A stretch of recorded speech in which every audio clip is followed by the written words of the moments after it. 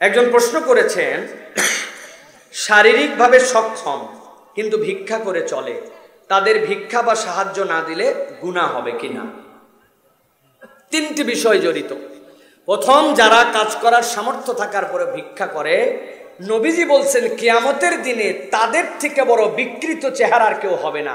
নিজেদের মুখগুলাকে আঁচড়ায়া, এই মুখগুলা অন্যরকম এক ভয়ঙ্কর চেহারা হবে, তাদের মুখ দেখেই বুঝবে এরা কাজ বাদ দিয়ে ভিক্ষা করে খেত, ইসলাম ভিক্ষা করাকে। এই জন্য কখনো উৎসাহ দেয় না, এখান থেকে বাঁচতে হবে, এক নম্বর। দুই নম্বর, একজন মানুষ শারীরিকভাবে সক্ষম, আমি দেখতে পাচ্ছি হাঁটাচলা করতে পারে, কিন্তু তার হয়তো এমন কোনো অক্ষমতা আছে যেটা আমার জানা নাই। কোনো ভারী শ্রম করতে পারে না, পরিশ্রম করতে পারে না, কিডনির রুগী, হার্টের রুগী, নানান অসুস্থতা আছে। এই মানুষের জন্য তখন আমি তার কেবল হাঁটা চলা দেখেই সিদ্ধান্ত নিতে পারব না যে সে সুস্থ মানুষ, কেননা তার আরও কোনো প্রবলেম থাকতে পারে।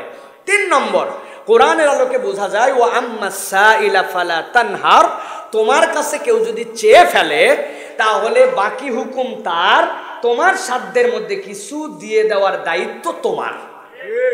সামর্থ্যে থাকলে কিছু দিব, ও যদি সাধ্যের মধ্যে থাকার পরে ভিক্ষা করে করে আল্লাহর সাথে হিসাব বুঝবে। কিন্তু আমার সামর্থ্য আছে দিব, কিচ্ছু দিতে পারি নাই, উত্তম কথা দিব তাকে, ভাই, আমি আপনাকে সহযোগিতা করতে পারলাম না। তবে আল্লাহ যেন আমার থেকে বড় উত্তম সহযোগিতাকারী আপনাকে মিলায় দেয়, এই দোয়া করি। এইটুকু আপনার জন্য কালিমাতু তৈবা হিসাবে সদাকা হবে।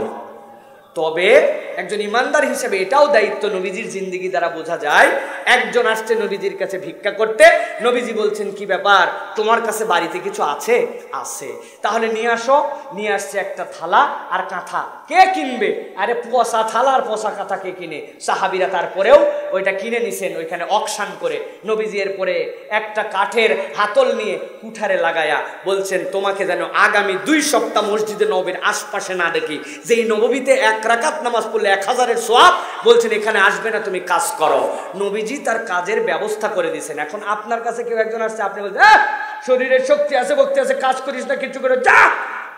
এটা বলা তো দায়িত্ব না। আপনি বলবেন চলো তোমার একটা কাজের ব্যবস্থা করে ভাও করে দেই। তাহলে না আপনি একটু দায়িত্ব পালন করলেন ঠিক না ভাই?